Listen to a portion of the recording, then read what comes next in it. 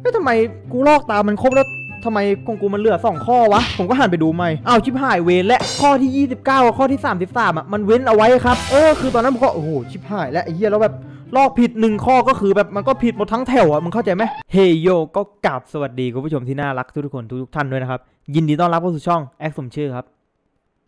ก็ขอกราบสวัสดีสวีดัดน้องๆที่น่ารักทุกๆคนด้วยนะครับก็สำหรับวันอาทิตย์อย่างนี้นะครับก็มาอยู่กับช่องแอคสมชื่อนะครับกับประสบการณ์การเล่าเรื่องของเราอีกตามเคยนะครับอืมทำไมปากมันแตกๆวะอะต้องใส่ หนาวครับช่วงนี้แบบฝนตกนะครับเออพายุเข้าน้องๆก็โควงโควิดด้วยนะครับ บางจังหวัดก็มีน้ำท่วมก็พี่ก็ทำอะไรไม่ได้นะครับ นอกจากเป็นกำลังใจเอาใจช่วยนะครับ ก็สำหรับเรื่องราวในครั้งนี้ที่พี่จะนำมาเล่านั้นก็คือ พี่เคยพูดไปแล้วนะครับในเอ่อไลฟ์สดครับใน t ิ k t o k แล้วก็มีน้องครับก็ได้ทักมาทวงครับว่าพี่เล่าเรื่องนี้หน่อยดิเรื่องลอกข้อสอบอะตอนนั้นที่พี่พูดในไลฟ์สดอะเออผมอยากฟังก็มีน้องอีกหลายๆคนเลยนะครับที่ทักแชทพี่มา แล้วก็มาเข้าเรื่องกันเลยทีฟ้าก็สำหรับคลิปนี้ก็อย่างที่บอกไปนะครับพี่ก็จะมาเล่าประสบการณ์ตอนที่พี่ได้ลอกข้อสอบโกงข้อสอบพี่เชื่อว่าหลายๆคนก็อาจจะเคยทำกับการลอกข้อสอบกับการโกงข้อสอบเนี่ยเออแล้วซึ่งปัจจุบันนี้มันเป็นการเรียนออนไลน์ใช่ไหมการสอบออนไลน์เนี่ยพี่ก็ไปถามพวกน้องๆมานะ ก็คือง่ายอะการลอกข้อสอบนี่คือว่ามันง่ายอะมันง่ายกว่าเมื่อก่อนไงเออเมื่อก่อนมันมันต้องแอบดูอะเออนั่นแหละก็เดี๋ยวพี่จะมาเล่าให้ฟังนะครับว่าสมัยนั้นที่พี่ลอกข้อสอบอะคือบอกเลยว่า นี่สมอง พี่ไม่ได้ลอกโง่ๆเว้ยมันต้องใช้สมองด้วยนะครับน้องๆ เออ ก็เดี๋ยวไปรับฟังกันเลยแล้วกันนะครับว่าตอนนั้นมันจะเป็นยังไงนะครับ ก็ก่อนที่จะไปฟังนะครับ ก็เหมือนเดิมนะครับ ก็อย่าลืมกดไลค์กด subscribe ด้วยนะครับ ก็สำหรับคลิปนี้ 1,000 ไลค์นะครับ ขอขอแหละกูขอแหละ 1,000 ไลค์นะครับสำหรับคลิปเล่าเรื่องเพื่อเป็นกำลังใจให้พี่ทำคลิปต่อไปนะครับอะก็เดี๋ยวเรื่องเราวจะเป็นยังไงนะครับ ก็เดี๋ยวไปรับฟังรับชมกันเลยแล้วกันนะครับยาฮู ก็เดี๋ยวพี่ต้องขอย้อนเวลากลับไปอีกตามเคยนะครับ ก็ครั้งนี้ต้องขอย้อนกลับไปตอนมหนึ่งเลยนะครับ เอาจริง ๆ แล้วอะพี่อะเป็นคนที่ลอกข้อสอบเพื่อนอะมาตั้งแต่ตอนประถมแล้วส่วนมากอะตอนประถมก็ค่อนข้างที่จะมั่วมากกว่าลอกนะ กูมั่วข้อสอบหมดเลยทำเฮี้ยอะไรไม่ได้เลย เกรดตอนประถมออกมากูได้3.5กูงงเลยครับโอ้โหแม่งกูทำอะไรไม่เป็นเลยกูได้3.5เออแม่กูก็ดีใจใหญ่เลยนึกว่ากูเรียนเก่งที่ไหนได้ครูให้เกรดมั่วครับ แต่ว่าตอนมหนึ่งเนี่ยมันจะ ต่างกับตอนประถมแล้วเพราะว่ามันจะมีการติดศูนย์เข้ามาถูกไหมเออเวลาที่เราทำคะแนนไม่ถึงก็จะติดศูนย์พอติดศูนย์เราก็ต้องซ่อม ซึ่งตอนนั้นอะเราจบจากประถมมามันไม่มี พอขึ้นมหนึ่งมามันมี เราก็เริ่มรู้สึกแบบอุ้ยเราจะติดศูนย์ไม่ได้แล้ว ตอนนั้นก็มีคนที่แอบชอบแล้วถ้าคนที่เราแอบชอบรู้ว่าเราติดศูนย์เงี้ยคือแบบโอ้โหแม่งมันจะทำให้เราแบบเป็นเด็กไม่ดีอะเด็กไม่เรียนนะ เราก็พยายามครับว่าจะไม่ให้ติดศูนย์ซึ่งตอนนั้นช่วงมัธยมช่วงประถมอะมันจะเป็นส่วนมากมันจะเป็นข้อกลางไงเออมันก็สามารถลอกได้จริงไหมแล้วก็มีการสอบครั้งหนึ่งครับตอนมหนึ่งผมจำได้แม่นเลยครั้งเนี้ยเป็นการสอบปลายภาคครับแล้ววิชาอังกฤษเนี่ยเป็นวิชาที่ผมแบบโคตรเกลียด เพราะว่ากูอ่านไม่ออกครับ วิชาที่ผมแม่งไม่ชอบเลยนะ พวก คณิตอังกฤษอะไรเงี้ยยังวิทย์อย่างเงี้ยยังพอได้ แต่ว่าคณิตอังกฤษเนี่ยมันจะมั่วยังไงวะมันแบบมั่วนี่ก็คือแบบมั่วไปเลย ไม่มีหลักการอะไรอะคือแบบมั่วอย่างเดียวอะแล้วผมอะไปดูคะแนนมาแล้วคือก่อนสอบอะ คุณครูเขาจะให้เราดูคะแนนใช่ไหมว่าเฮ้ยคะแนนอะคนนี้มีเท่าไหร่แล้วมีเท่าไหร่แล้วมีสิทธิ์ตกไหมอะไรเงี้ยซึ่งตอนนั้นครับผมก็ไปดูมาครับว่ามีกี่คะแนน ซึ่งผมมีอยู่ 30 คะแนนครับเออ30 คะแนนเป๊ะๆเลย แล้วก็กับการสอบปลายภาคอีก 30 คะแนน ผมต้องทำให้ได้ 20 คะแนนครับถึงกูจะไม่ติดศูนย์โอ้โหเครียดแล้วว่าชิบหายแล้วกูตกแน่เลยภาษาอังกฤษเนี่ยคือแบบโหอีก 20 คะแนนนะมึงคิดดูดิกูต้อง ผ่านเกินกว่าครึ่งอะเออคะแนนสอบกลางภาคมัน30 คะแนนถูกไหมกูต้องทำ20 คะแนนคือมันเกินครึ่งไงกูก็โอ้โหแม่งจำใจเลยตอนนั้นแบบแม่งกูกะว่ากูตกแน่เลยอังกฤษเนี่ยแบบไม่รอด วิชาอื่นก็ยังแบบยังพอได้ลุ้นไงก็คือแบบอยู่ที่คะแนน40 บวกบวกอะไรอย่างเงี้ยก็ยังพอได้ลุ้นนะเออแต่อังกฤษเนี่ยกูว่าแบบโหตกแน่เลย ตอนนั้นก็เพิ่งเข้ามามหนึ่งไงก็คือแบบเราก็ไม่อยากตกอะคือแบบการตกติดศูนย์นี่มันคือแบบหน่าอายอะไอ้เหี้ยมันมีศูนย์แม่งขึ้นอยู่ในเนี่ยในในใบเกรดอะไอ้เหี้ย มันไม่เท่ไงอะแล้วก็มาถึงวันสอบครับวันสอบภาษาอังกฤษ ซึ่งวันนั้นผมบอกแล้วว่าน่าจะเป็นวันสอบ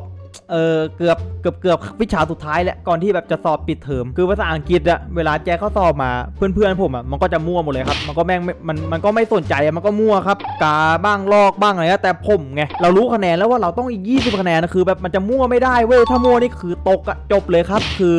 เราแม่งไปยอมเสี่ยงลอกคนอื่น ดีกว่าเรามั่วเอง เข้าใจไหมถ้าเรามั่วเองอะมันมีโอกาสตกสูงครับมีโอกาสติดศูนย์นี่แบบสูงมากเออกูกูไม่รู้ว่าถ้าเราเราไปลอกคนอื่น เรายังมีสิทธิ์ผ่านพี่เลยแบบ ยังไม่มั่วเว้ย คือแบบเรามั่วไม่ได้ กูก็นั่งอ่านแม่งก็อ่านไม่ออกสักตัวนั่งเปิดไปเปิดมา ตอนนั้นจำได้แล้วครับ เป็นข้อกาครับ 40 ข้อ แล้วก็มีข้อเขียนอีก 10กว่าข้อครับ ซึ่งข้อเขียนนะเราก็ทำไม่ได้อยู่แล้ว ก็คือเว้นว่างเปล่าไว้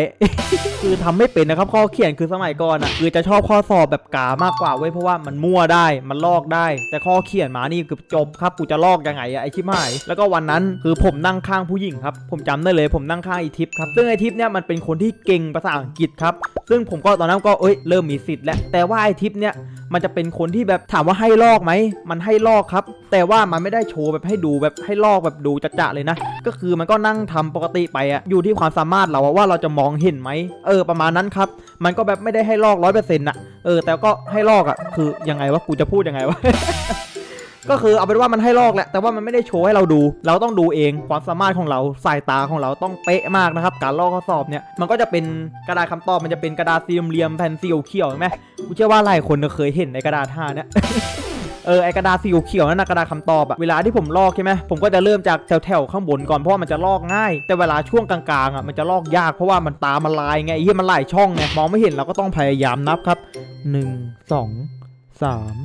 สี่ห้าเออ ข้อห้าหนึ่งสองหนึ่งสี่ห้าหนึ่งสองหนึ่งสี่ห้าแล้วก็กาตาม เออ ประมาณเนี้ย เข้าใจไหม ซึ่งพี่ก็พยายามลอกครับ ข้อหนึ่งถึงข้อ 20 เออ ถูกบ้างผิดบ้างแล้วก็พยายามลอกมันครับ เพื่อลอกให้มันเป๊ะที่สุดครับ แล้วพอพี่ทำลอกข้อ1ถึงข้อที่ 20 จบแล้ว ถึงข้อที่ 21 ถึง 40 ไอ้ตรงนี้แหละปัญหาครับก็คือตอนนั้นอะมันก็ช่วงเวลาที่แบบใกล้จะหมดเวลาแล้วเพื่อนๆก็เริ่มออกกันไปหมดแล้วครับทุกคนก็เริ่มออกไปหมดแล้วเหลือไอทิปอีทิปมันก็ยังทำอยู่มันทำข้อเขียนอยู่ ผมก็กาตามมันครับข้อ 21กอไก่ขอไข่เลี้ยงมาเลี้ยงมาเรื่อยๆเรื่อยๆเรื่อยๆพอถึงข้อที่ 39 กับ 40 เท่านั้นแหละ ผมก็เอ้าชิบหายเฮ้ยทำไมกูลอกตามมันครบแล้ว ทำไมของกูมันเหลือ 2 ข้อวะ ผมก็หันไปดูใหม่อ้าวชิบหายเว้นและข้อที่ 29กับข้อที่ 33 อะ มันเว้นเอาไว้ครับ เออ คือตอนนั้นผมก็ โอ้โห ชิบหายแล้วไอ้เหี้ยแล้วแบบลอกผิดหนึ่งข้อก็คือแบบมันก็ผิดหมดทั้งแถวอะมึงเข้าใจไหมเครียดเฮ้ยเครียดเลยคราวนี้แบบโหแม่งเครียดเลยครับกูเอาไงดีวะชิบหายถ้าลบนี่คุณครูรู้แน่เลยว่าเราลอกเออแล้วถ้าเราไปตรงไปอย่างงี้ชิบหายกูตกแน่เลยตอนนั้นแบบกูทำไงดีว่าเวลาก็จะหมดแล้ว ตอนนั้นแบบโอ้โหพี่โคตรกดดันนะแบบเฮ้ยเอ้ยทำไงดีว่าเราคิดอะคิด ฮ้ยทำไงดีว่าเฮียคนอื่นก็ส่งกันไปหมดแล้ว เวลาใกล้จะหมดแล้วคุณครูคุณครูก็บอกอ้าเหลือสิบนาทีสุดท้ายกูว่าโอ้ยเหี้ยเครียดเลยครับ ตอนนั้นแม่งกูนึกในใจว่ากูตีสูตรแน่กูตีสูตรแน่นอนเลยครับโอ้แล้วไอ้ทิปมันก็ถามเขาแอคเป็นไรกูบอกไอ้เหี้ยกูลอกผิดช่องว่ะมึงแม่งไม่บอกว่ามึงเว้นเอาไว้นี่กูมีการไปวิปมันด้วยนะไอ้เหี้ยมึงไม่บอกกูว่าว่ามึงเว้นเอาไว้อะโอ้โหไอ้เหี้ยกูยังแบบไปวิปมันอีกมึงคิดดูดิขนาดกูลอกมันนะกูยังไปวิปมันอีกไอ้โหไอ้เหี้ยโคตรเลวเลยซึ่งตอนนั้นผมก็เครียดแล้วว่ากูต้องทำยังไงดีวะแล้วพอทันใดนั้นเองครับ สายตาพี่ครับ ดันไปเห็นบนโต๊ะคุณครูครับ ว่ามีไอ้กระดาษคำตอบอยู่อะคือเป็นปึ้งเลยอะผมก็คิดแล้วว่าเฮียก็กูทำยังไงดีว่าให้มันได้กระดาษนั้นมาสักแผ่นหนึงอะทำไงดีว่าผมก็คิด เอออ๋อพอสุดท้ายผมคิดออกครับ ผมมาหยิบกระดาษคำตอบอะแกล้งทำตกเว้ยแล้วผมก็เอาโต๊ะอะแกล้งทับกระดาษคำตอบ แล้วผมก็ดึงปึ๊กให้มันขาด พอมันขาดปุ๊บคราวนี้ผมก็บอกคุณครูครับ กระดาษคำตอบขาดครับ แล้วคุณครูก็ถามเอ้าขาดได้ไง ผมก็บอกว่าอ๋อเมื่อกี้มันตกครับแล้วนี่ขาโต๊ะมันไปทับครับผมเลยดึงแล้วมันขาดครับเขาก็เอาเอาเอารีบรีบเอาใบไม้ไปเขียน ผมก็อ่าสุดยอดเวลิกูดเลยตอนนั้นแบบโอ้โหแม่งกูโคตรดีใจเลย แล้วผมก็ไอ้สองข้อนั้นผมก็มั่วครับมั่วไปเลยแล้วก็เอาไปส่งครับ โอ้โหแม่งรอดตายมายังวุดวิดไอ้ทำไมกูฉลาดจังว่าตอนนั้นไอ้ยี่กูคิดได้ไงกูยังไม่รู้เลย